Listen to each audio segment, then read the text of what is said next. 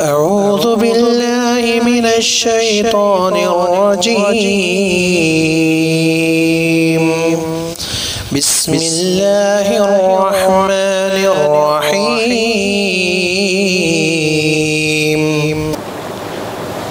حدیث نمبر چھ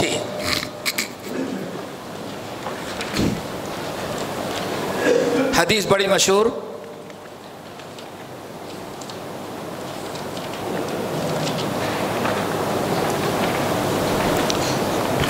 حدیث بڑی مشہور ہے۔ کل اشارہ گزر چکا ہے۔ حدیث نعمان بن بشیر رضی اللہ ہاں؟ ان ان ہوما دونوں مسلمان دونوں صحابی ہیں۔ دونوں اللہ رسول کے زمانے میں تھے باپ بیٹے دونوں۔ اور ماشاءاللہ تاریخی آدمی ہیں۔ ہاں؟ اور یہیں ایک مسئلہ اور یاد کر لیں۔ وہ بات تو تھوڑی سی لمبی ہے، کتنا بھی مختصر کرنا چاہتے ہیں، لیکن کچھ نہ کچھ باتیں آ جاتی ہیں۔ بشیر لیکن مسئلے کے ہاں؟ بشیر رضی اللہ تعالیٰ عنہما صاحب اولاد تھے۔ انہوں نے دوسری شادی کی۔ پہلی بیوی سے بچے بڑے تھے۔ دوسری شادی کی تو پہلی ہی اولاد نعمان بن بشیر پیدا ہوئے۔ تو نعمان رضی اللہ تعالیٰ عنہ کی جو ماں تھی، اس نے حضرت یعنی بشیر اپنے شوہر سے کہی، او، آپ کی بڑی بیوی کے بچے بڑے بڑے ہیں، ہمارا چھوٹا ہے، پتہ نہیں حصہ برابر دیں یا کیا ہو، کل آپ کو کچھ ہو جائے۔ تو اس لیے آپ ایسا کریں کہ میرے بچے کے کو کوئی نہ کوئی چیز اس کے نام، اس زمانے میں رجسٹری نہیں کرائی جاتی تھی۔ کہ پیپر میں بھارت لکھا ہو، پھر اس کے اندر سو کی نوٹ لگی ہو کہ ہزار کی سب کا، یہ سب کچھ نہیں ہوتا تھا۔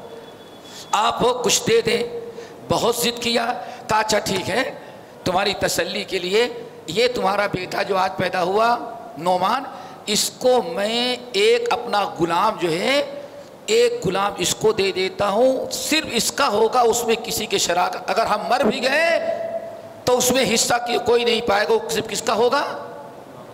بیوی بڑی تیز تھی، ایسے کام نہیں چلے گا۔ پھر کیسے چلو اللہ کے رسول کو گواہ بناؤ تب، تاکہ تاکہ کہیں ایسا نہ ہو، بشیر پلٹ جائے۔ تو لے کے گئی۔ حضرت نعمان، حضرت اللہ، بشیر نے اپنے بیٹے نعمان کو لیا اور لے کے گئی۔ یا رسول اللہ، یہ میرا بیٹا نعمان ہے۔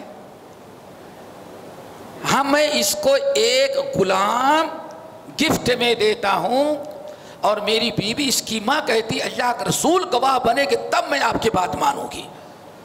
تو آپ گواہ ہو جائیں۔ اللہ اکبر۔ ہم سب کے لیے بڑی عبرت و نصیحت دوستو، یاد رکھنا۔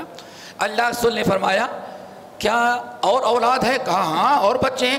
کہا، کیا ہر بچے کو تم نے ایک ایک ایک ایک غلام دیا؟ کہا نہیں نہیں، صرف اس کو دے رہے آ نے فرمایا، جاؤ۔ انی لا اشہد علی زور میں گناہ اور حرام چیز پر کبھی گواہ نہیں بن سکتا۔ اگر ایک بیٹے کو دے رہے ہو، تو یہ عدل انصاف کے خلاف ہے۔ جتنے بیٹے ہیں، سب کو ایک ایک غلام دو۔ اور بڑی پیاری بات اللہ کی سنی بات روایتوں میں ہے۔ فرمایا، اعدلوا بین اولادکم۔ نعمان، بشیر یاد رکھنا۔ اور سب لوگ، ہر مسلمان کے لیے ضروری ہے کہ اپنے اولاد کے درمیان لینے، دینے، گفٹ میں عدل و انصاف کرے، تاکہ سارے بچے تمہاری خدمت کریں اور تمہارے ساتھ اچھے سے رہیں گے۔ اگر تم نے ایک کو دے دیا اور دوسرے کو نہیں دیا، تو بھی تو کر لے گا، لیکن جب میڈم آ جائے گی گھر میں بیوی باپ نے اس کو دیا ہے، تم کیوں اس کی خدمت کرتے ہو؟ کیا خیال ہے؟ بہت لوگوں نے تجربہ کیا ہوگا۔ یہ حدیث بہت اصل ہے۔ لوٹا دیا، گواہ نہیں بنے۔ یہیں سے ایک چیز یاد رکھیں، آگے بتا دیں۔ آج بہت سارے لوگ ایک مسئلہ پوچھتے ہیں کہ میں چاہتا ہوں کہ بچے لڑیں نہیں، زندگی ہی میں اپنے، اپنی وراثت کیا کر دیتے ہیں؟ تقسیم کر دیتے ہیں۔ وراثت یو سے کم اللہ فی اولاد کم لکرے مثل حدل حدل صحیح اللہ نے آگے فرمایا، یہ وراثت کا مسئلہ ہے، ما ترک جو چھوڑ کر کے چلا گیا، جو زندگی میں دے رہا ہے، وہ وراثت نہیں ہوتی۔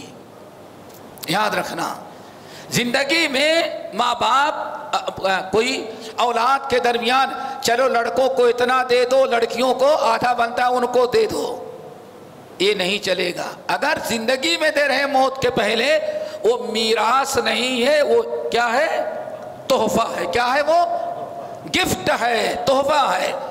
اور زندگی میں اگر آپ تقسیم کریں گے، تو لڑکے، لڑکی جتنے ہیں، سب کو برابر دینا پڑے۔ کیوں اللہ رسول فرمایا، ایک کو دے دوسروں کو نہ دو، یہ گناہ ہے ہم اس کو نہیں۔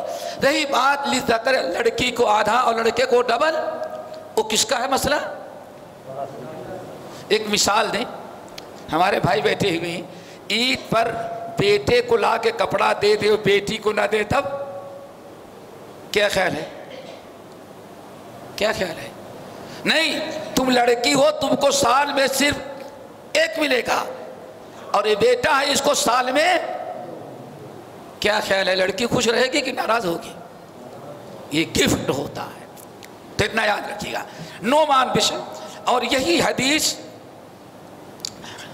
ہے جس کے متعلق امام ابو داؤد رحمۃ اللہ علیہ کا قول سنا ہوگا آپ لوگوں نے۔ امام ابو داؤد نے کہا، ہزاروں لاکھوں حدیثوں سے میں نے یہ تقریباً عدد میں کچھ اور ہے آج کی، لیکن امام ابو داؤد کے جو اربعات والا۔ لاکھوں حدیثوں سے منتخب کر کے میں نے اپنے سنن میں کتنی حدیثیں نقل کی ہیں؟ چار ہزار۔ ہے تمہارے یہاں؟ تمہارے یہاں ہے؟ نہیں۔ کتنی؟ لاکھوں حدیثوں سے منتخب کر کے ہم نے اپنے سنن میں کتنی حدیثیں نقل کی؟ چار ہزار۔ اور ان چار ہزار حدیثوں میں سے جتنا ہم نے چار ان چار ہزار حدیثوں کا سارا دار و مدار چار حدیثوں پر ہے۔ کتنی حدیثوں پر؟ ان چار حدیثوں کو کوئی سمجھ لے تو سمجھو ہماری چار ہزار حدیثیں لکھی ہوئی سب پر اس نے کیا کر لیا؟ عمل کر لیا۔ وہ چار حدیثیں کون سی ہیں؟ نمبر ایک حدیث نعمان بن بشیر، الحلال بین ٹھیک ہے نا؟ نمبر دو، حدیث عمر ابن الخطاب ان نمبر اعمال بن نیات نمبر تین، حدیث ابی حریرہ ان اللہ طیب لا یقبل الا طیبا. اور نمبر چار، من حسن اسلام المرء ترکہ مالا یعنی اور ساری حدیثیں اس میں منقول ہیں. نعمان بن بشیر کہتے ہیں، ہم نے رسول اللہ علیہ وسلم کو فرماتے ہوئے سنا، ان الحلال بین حلال بالکل ظاہر ہے، اور حرام بالکل وہ ان الحرام بھائی حرام بھی ظاہر ہے۔ کون نہیں جانتا کہ شراب حرام ہے، کون نہیں جانتا کہ سود حرام ہے، کون نہیں جانتا کہ ہاں فلم دیکھنا جائز ہے۔ ہاں؟ کیا ہے؟ سب جانتے ہیں کہ نہ جائے تو حرام ہے۔ اب خناس آ جائے تو کہے کہ نہیں نہیں، یہ کیا ہے وہ؟ جائے۔ سمجھ گئے نا؟ حلال بھی جائے اور حرام بھی۔ حلال بھی واضح اور حرام بھی واضح۔ بینہما امور مشتبہات۔ اور حلال اور حرمیان کے درمیان کچھ ایسی باتیں ہیں جو متشابہات، مشتبہات ہیں۔ جن کی حلت اور حرمت واضح نہیں ہے۔ اللہ، فمن تک شبہات جس نے حلال کیا، حرام سے بچایا اور شک اور شبہ والی چیزوں کو اس نے چھوڑ دیا۔ فقط استبر دین ہی تو اس نے اپنے دین کو محفوظ کر لیا۔ وہ ارد ہی اور اپنی عزت بھی بچا لی اپنی عزت بھی بچا لی دین بھی بچ گیا اور عزت بھی نہیں بچ گئی۔ ماشاء اللہ داڑھی بھی ہے، ٹوپی بھی لگائے ہیں کرتے پجامے بھی پہنے، روڈ پر سگریٹ پینے لگے تب۔ کیا خیال ہے؟ ارے، کتنا بے ایمان ہے، اتنی لمبی داڑھی کر کے ملا ہو کر کے سگریٹ پیتا ہے۔ عزت رہے گی گئی نہیں بھائی، مکروہ ہے۔ نہ حلال ہے نہ کیا ہے؟ کیوں؟ کیوں بھائی؟ بغیر اس کے عادت پڑ گئی ہے۔ عادت پڑ گئی ہے۔ میرے بھائی، جب جانتے ہیں، ارے حلال حرام، پھر بیچ میں کہاں سے تم نے لا لیا؟ نہیں، نہ حلال ہے، نہ حرام، کیا یہ مکرو۔ شریعت کے اندر قرآن و حدیث میں ہم تفصیل وقت ہوتا ہے ہم بتاتے کتنے مقامات پر وَقَرَّهَا إِلَيْكُمُ الْكُفْرَ وَالْفُسُوقَ وَالْ، اللہ تعالیٰ مکروح سمجھتا ہے تمہارے لیے کیا؟ تو کیا یہ میڈ ان انڈیا مکروح ہے؟ جن کو تمباکو والا پان کھانا ہو، جن کو سگریٹ پینا ہو، بیٹھے بیٹھے فتوا دے دیں۔ کہ بھائی نہیں، حلال نہیں، حرام نہیں، بلکہ کیا ہے؟ مکروح ہے۔ کتاب و سنت میں سلف کے ہاں کراہت کا لفظ استعمال کیا گیا، اس کے کیا ہے؟ حرمت کے معنی میں۔ کر رہا الیکم الکفر والفسوق والعصیان۔ کر کراہت کا لفظ ہے۔ پھر وَقَرِهُ مَا أَنزَلَ اللَّهِ ان کے اس لیے فرشتے مار مار کر کے روح قبضہ کر رہے ہیں، کب وقت کیوں یہ ایسا بدبخت ہے۔ وَقَرِهُ رضوانہ اللہ کو جو چیزیں اچھی تھی، وہ مکروح تھا۔ دیکھا آپ نے؟ کراہت کا کتاب و سنت بھی اس کے لیے آتا ہے مکروح کا۔ تو کچھ چیزیں جو شبہ کی ہیں، اگر اس کو انسان کرتا تو دین بھی برباد اور عزت بھی مثال دیا، معلوم ہے نا؟ یہ رکھ کر کے کوئی میش بھی ہو رہا ہو، کوئی مسجد کے امام صاحب کھڑے ہو کو دیکھ رہے ہیں، لوگ کہیں گے، یار امام ہو کر کے ہی دیکھتا ہے۔ تو انسان کی عزت حرام سے نہیں، کبھی لایانی اور غیر پسندیدہ چیزیں کرنے سے بھی اس کی عزت مٹی میں مل جاتی ہے۔ تو آپ نے فرمایا جس شخص نے اپنے آپ کو شبہات سے بچایا متشابہات اور شبہات سے، اس نے اپنا دین بچا لیا اور ایمان، عزت، اللہ توفیق نصیب فرمائے ہم کو۔ ومن واقع فی الشبہات اور جو شبہات میں واقع ہو گیا، عمل کرنے واقع کا مطلب عمل کرنے لگا۔ عمل کرنے لگا۔ اللہ کے رسول فرماتے ہیں وقع فی الحرام۔ آد شبہات پر عمل کر رہا ہے۔ اب اگلا قدم کیا ہوگا؟ حرام کے اندر واقع ہو جائے گا۔ ترائی یرعا حول الحما۔ ایک بڑی پیاری تشبیح دی۔ اس کو ذرا سنیں۔ مثال دی اللہ کے رسول نے۔ شک اور شبہ والی باتوں پر عمل کرنے والا کیسے حرام چیزوں کے اندر واقع ہو جاتا ہے؟ اللہ اللہ کے نبی نے اتنی پیاری تشبیح دی، آپ کو جواب میں الکلم اللہ نے دیا ہے۔ دیہات میں آنا جانا ہوتا ہے کبھی؟ جہاں کھیتیاں ہوتی ہیں۔ دیکھتے ہوں گے، ایک انسان کی یہ زمین ہے اور دوسرے کی، اور بیچ میں ایک مڈیر، ایک نشان بنا ہوا ہے۔ گزرنے کے لیے، چلنے کے لیے، ٹھیک ہے نا بھائی؟ بالکل یہ پڑا ہوا ہے۔ اللہ شبہات سے بچو۔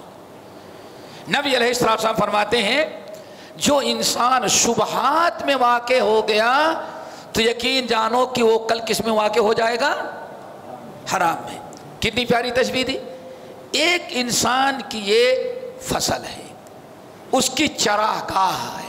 چراگاہ سمجھتے ہیں؟ جہاں جانور چرانے کے لیے آدمی اپنی گھاس فصل تیار کرتا ہے۔ ایک آدمی کی اپنی کھیتی ہے اور یہ بیچ میں ایک چھوٹا سا ڈیڑھ فٹ کا، دو فٹ کا، چار فٹ کا راستہ چھوڑ دیتے ہیں۔ ہوتا ہے نا ایسے۔ ایک انسان اپنا، اپنے جانور کو اپنے کھیت میں چرا رہا ہے۔ اس کا حق ہے کہ بالکل کنارے تک آئے۔ اس کی چیز ہے نا، جائز ہے۔ لیکن اگر کنارے تک آ گیا تو جانور ممکن ہے کہ اپنے کھیت میں رہ کر کے گردن لمبی کرے اور دوسرے کی فصل کو نقصان پہنچا دے۔ اللہ اکبر۔ یہ نبی کی فصاحت، بلاغت اوتی جو جواب الکلم ذرا دیکھو۔ اور وہ بھی بکری ہو تو شاید مان جائے، بیل ہو، بھینس ہو۔ اور انٹی ہو۔ کیا ہو؟ انٹی۔ نہیں سمجھے؟ کہیں گو ماتا ہو تب؟ انٹی کو نہیں سمجھتے تو کیا سمجھتے ہو تم؟ اس وقت بھی انٹی نہ سمجھے، آپ ہندوستان میں رہ کر کے۔ سمجھ گئے نا؟ تو ذرا سو، بڑا جانور ہو، گائے، بیل، اونٹ، بھینس، تو اس کو ایک دو لاٹھی مارے کے جب بھی نہیں، سامنے والے کے ہرے فصل کو نقصان پہنچے۔ اب آپ بتائیں، آپ کے جانور نے دوسرے کی فصل کو نقصان پہنچایا، جائز ہے کہ نہ حرام؟ یہ تو حرام ہے نا؟ حالانکہ اس نے غلطی کیا کی؟ اللہ تعالیٰ نے یہاں تک جائز قرار دیا تھا؟ کنارے تک۔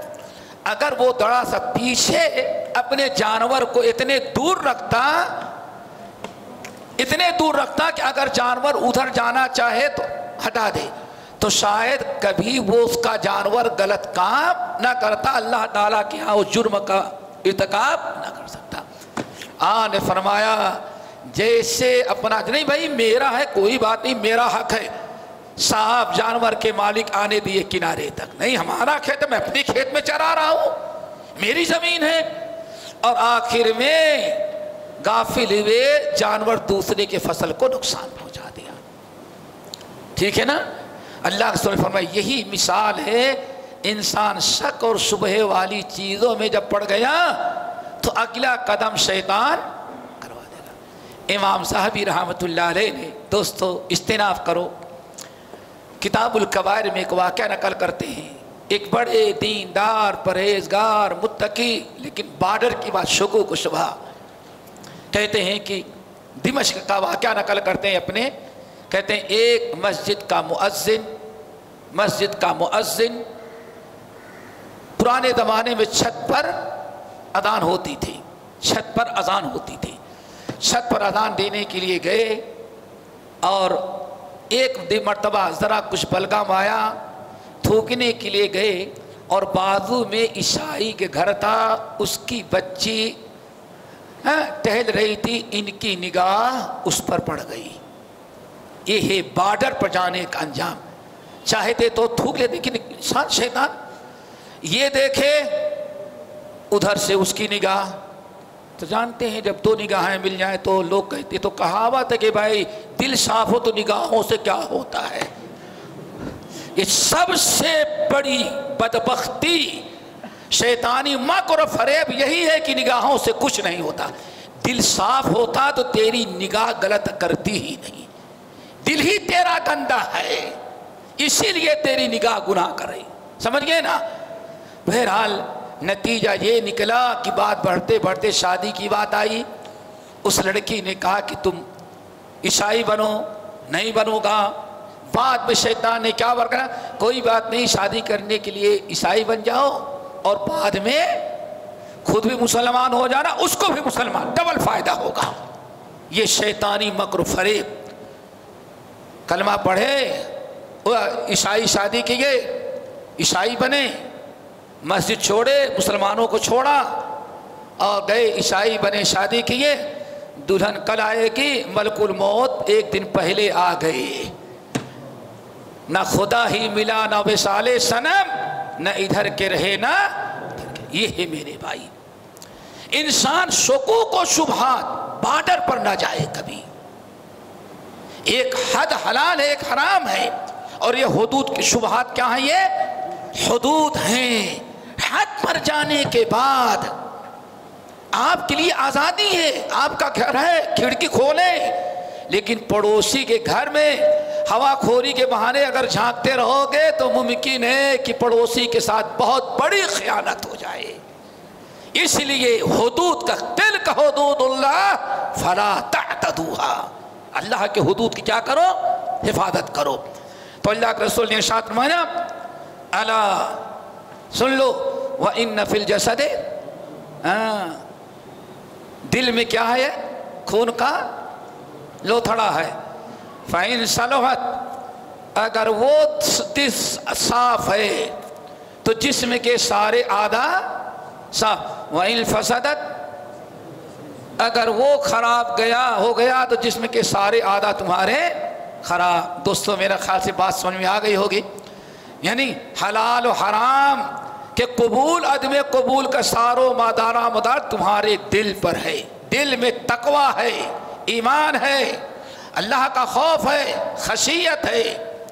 تو کبھی شبہات کے قریب نہیں جاؤ گے۔ ورنہ ہمیں یاد ہے، آج سے تقریباً بیالیس، تینتالیس سال قبل مہاراشٹر میں تھا، مدینہ یونیورسٹی جانے کے پہلے پہلے۔ تو ایک شخص آتا، آیا۔ لائبریری میں بیٹھا تھا۔ اب آج مصیبت یہ کہ آدمی سوچتا ہے کہ سو مولویوں سے پوچھو۔ ایک سے پوچھا، حدیث سنا دی نہیں، اور کے بعد؟ وہ سوچتا ہے جب تک کوئی حلال کا فتویٰ نہ دیتا ہے، تب تک مولوی کا پیچھا پوچھتا جائے گا۔ جب جب کہیں سرفیرا مل گیا ہاں ہاں کون کہتا ہے آرام؟ بس، یہ کام کا مولوی ہے۔ کیا خیال ہے آپ لوگوں کا؟ سب کو تجربہ ہوگا۔ تو وہ شخص ایسا ہی تھا۔ رات کو آیا، لائبریری میں بیٹھے ہوئے۔ مولانا صاحب، یہ حلال ہے؟ وہ کوئی بزنس کر رہا تھا؟ نہیں کہ حرام ہے۔ پھر پوچھا۔ تین مرتبہ، تینوں مرتبہ۔ تو کہتا، کیا معلوم ہے؟ یہ ہے شبہات۔ لوگ حلال پر اکتفا کرنے کے بجائے حرام کو جب تک جو چیز ٹھان لیا، سوچ لیا جب تو اس کے حلال کا فتویٰ نہ مل جائے، اطمینان نہیں ہوتا۔ تو آخر میں کہتا کیا ہے؟ مونا صاحب، آپ اتنا پڑھ کر کے آئے، اتنی کتابیں، کسی کتاب میں ہمارے مسئلے کو حلال نہیں کہا گیا۔ ذرا سوچو یعنی وہ سوچتا ہے، کتابیں کھولے، کسی کتاب میں تو لکھا ہوگا کہ یہ یہی ہے شکوک و شبہات والے۔ اللہ تعالی ہم سب کو عمل کے توفیق سے فرمائے۔ وہ اللہ ایک مثال دے دے، اس کو یاد رکھیں۔ بات لمبی ہو جاتی، کتنا بھی مختصر کرنا چاہتے ہیں، بس ایک مثال تک یاد رہے۔ آپ لوگوں نے سنا ہوگا، اللہ کے رسول صلی اللہ علیہ وسلم پر صدقہ حرام ہے نا؟ ٹھیک ہے نا؟ راستہ پکڑ کے جا رہے تھے۔ علماء نے سنایا ہوگا، کہیں راستے میں ایک گرا ہوا کھجور، گرا ہوا کھجور مل گیا۔ اللہ اکبر۔ اٹھا تو لیا۔ اٹھا لیا۔ لیکن اللہ رسول نے کسی اور کو دے دیا۔ خود نہیں کھایا۔ اور ایک روایت میں حسن نے کھایا تو منہ سے نکال لیا۔ لوگوں نے کہا، یا رسول اللہ، ارے کھجور پڑا ہے، اس میں کیا ہے؟ اللہ رسول فرمایا، کھجور پڑا ہوا ہے، حلال تو ہے، لیکن میرے اوپر اللہ نے صدقہ حرام قرار دیا ہے۔ ڈر یہ ہے کہ کوئی صدقہ دینے کے لیے جاتا رہا ہوگا، کہیں صدقے کا کھجور گرا ہوگا تب اللہ اکبر دیکھا۔ انسان کے دل میں اگر تقوی ہوگا تو نبی کی سنت پر عمل کرے گا۔ مولیوں کے پیچھے جب تک حلال نہ آ جائے، تب تک وہ بھاگے گا نہیں، فتویٰ مل گیا، بس کافی ہے۔ دوسری مثال، حضرت ہاں، حاتم، عدی بن حاتم، تائی کا قصہ۔ کتنا طرح غور سے سنو اللہ۔ اور اس لیے ہم بتا دے رہے ہیں کہ دوستو یہ شک شبہ جہاں آ جائے وہاں کیا کرتے رہنا چاہیے؟ آپ حضرات جانتے اللہ رسول نے شاہ تمایا اگر تم نے شکاری کتا پال رکھا ہے، کون سا کتا؟ او بادو میں سلانے والا نہیں۔ کہ صبح؟